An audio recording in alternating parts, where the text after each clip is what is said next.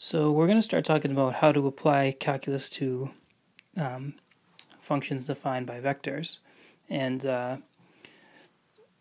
vectors have become very useful when you're trying to model movement in three dimensions and higher. So we, we want to get the basics down. So just to start, remember that a vector is anything that represents an object that has magnitude and direction.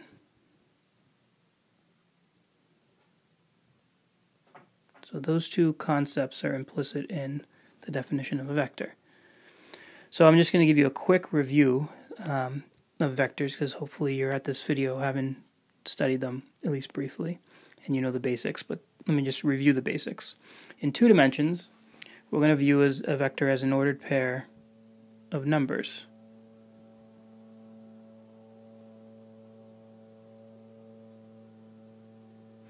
So for instance, let's say I have a vector u, which I indicate with an arrow over the head, or bold-faced if it's in a book, and it'll be usually written in brackets, but you'll see in other textbooks the context can sometimes imply, imply that it's a vector, and they'll even be written as what look like points.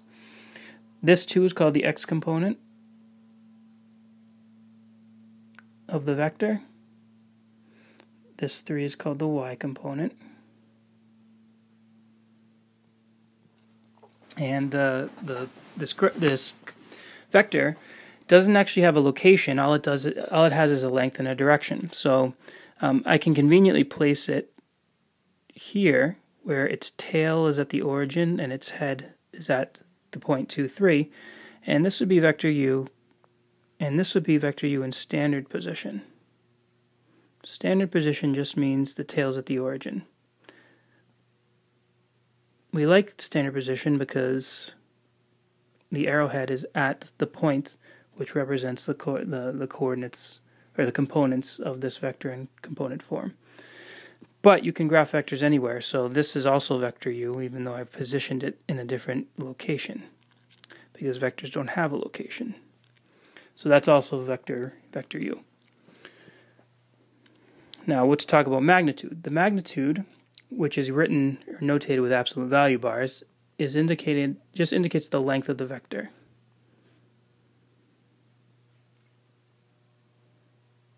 So in our case, our vector 2 comma 3, if we wanted its length, so remember its length now is actually a, a, a real number. It's not a, it doesn't have components. To find that, we can just do the Pythagorean theorem on this triangle here, and we can see that it's going to be 2 squared plus the relationship is 2 squared plus 3 squared equals the magnitude of u squared, which implies that this this magnitude is going to be the square root of 2 squared plus 3 squared.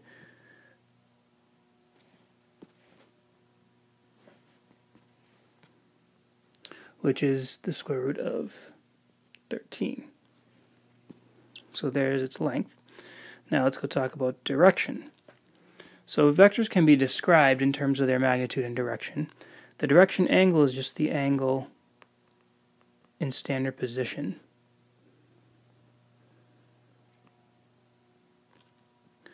In other words, the angle that the vector makes with the positive x-axis when it's positioned in standard position. So um, let's just say for our particular example, there's my vector u.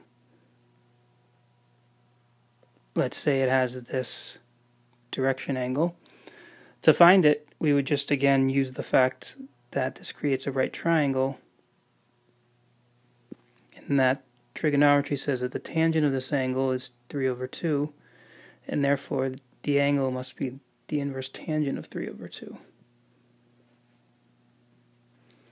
Now just be careful if the vector is not positioned such that its head um, is in quadrant 1, then when you do tan inverse, you're going to have to look at the triangle and understand that the tan inverse function could give you an angle that doesn't make sense in your picture because it's only defined on the interval negative pi over 2 to pi over 2 or negative 90 to 90. So just make sure you look at the diagram when you're finding these angles to make sure that your actual answer is the angle in standard position.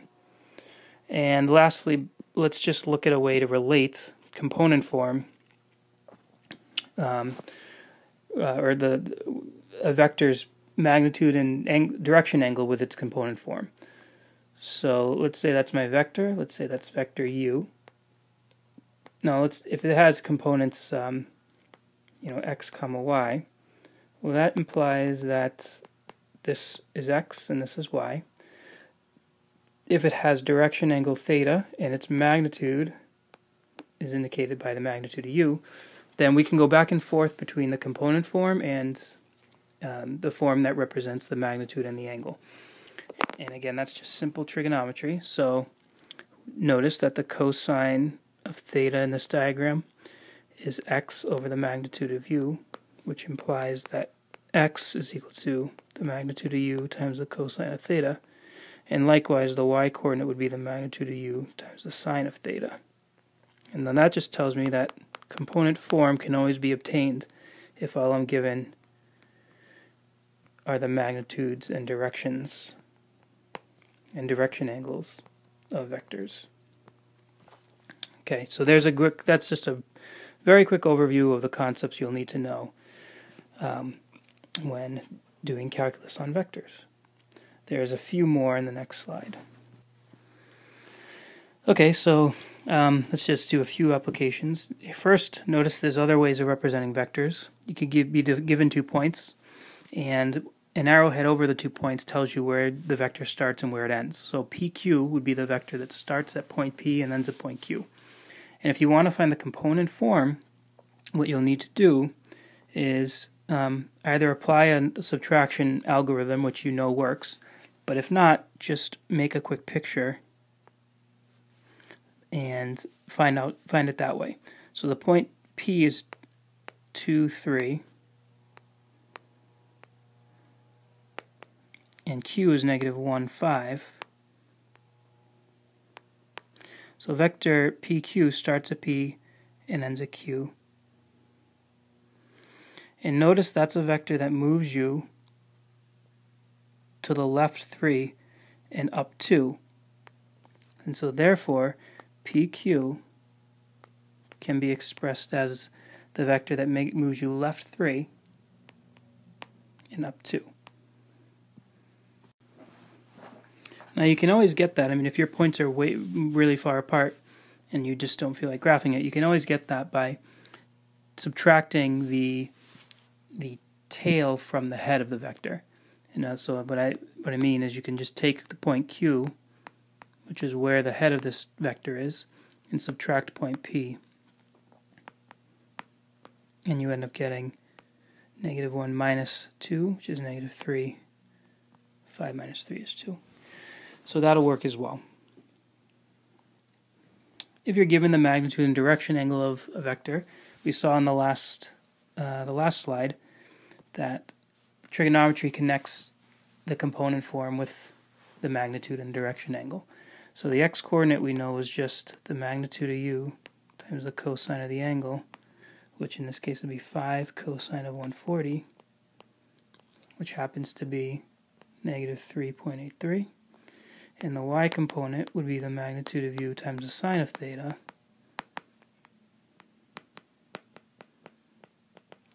which is 3.21. And so the vector and component form would be that. Just check for consistency. This vector clearly has a length of 5 and is pointing in in a direction that's in the in quadrant 2, right?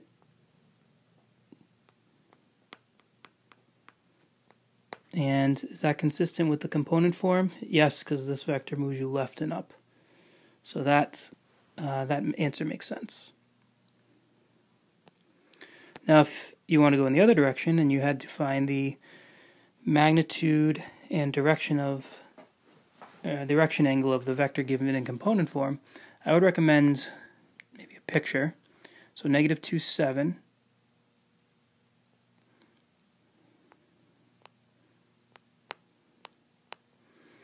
is uh, this sloppily drawn vector. And um, those represent the legs of that right triangle what we want is this angle, that's the direction angle, and we want the magnitude. So let's just call this vector u. The magnitude of vector u is easy because it's the hypotenuse of that right triangle. So it's the square root of negative 2 squared plus 7 squared, which is the square root of 53. And so there's the magnitude and the direction angle. What you will do is do two, tan inverse of, now I think I'm just going to do 7 halves. You don't need to include the negative, but you can. When you do that on your calculator, you get 105, um, no, I'm sorry, you get, let's just do that out. Make sure you're in degree mode. You get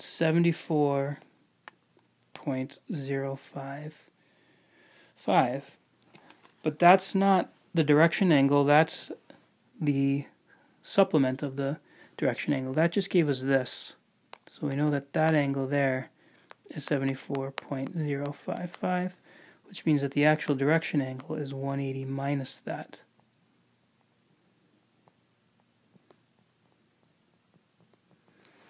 Alright, and so if you do 180 minus that, you get 105.945.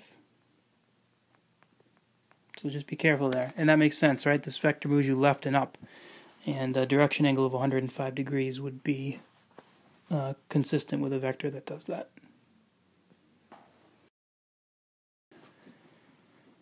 Now before we move on to calculus of vectors, let's just look at the, the basics of the geometry. If I've got two vectors and I want to add them geometrically, that amounts to um, graphing one of them. So let's graph u. It has co uh, components 1, 1. So it moves you right 1 and up 1. So that's u. And then adding v to it means to start v at the head of this vector and move left 3 and up 2. So, so that's v. This was u. And the result here in orange is geometrically representing the sum u plus v. And you can see that the arithmetic of vectors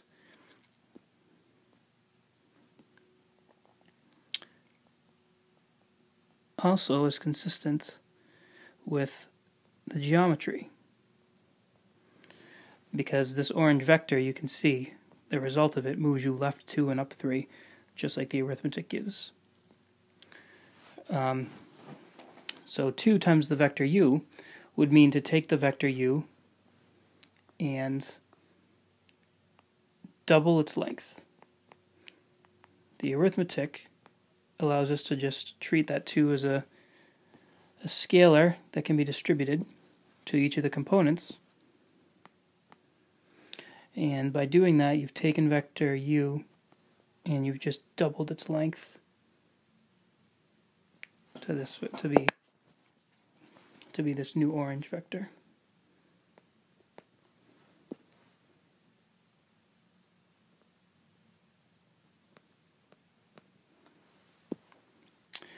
Um, and negative 2u would be the vector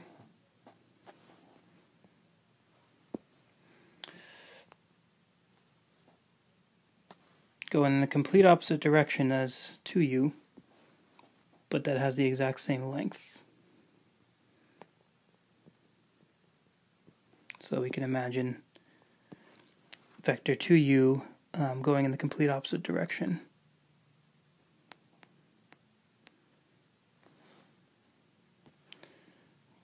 This stylus is not the easiest to use. So there's just some basics of geometry. Um, and again, just in general, if you wanted to graph the summation rule, if you have any vector u and you're adding it to vector v,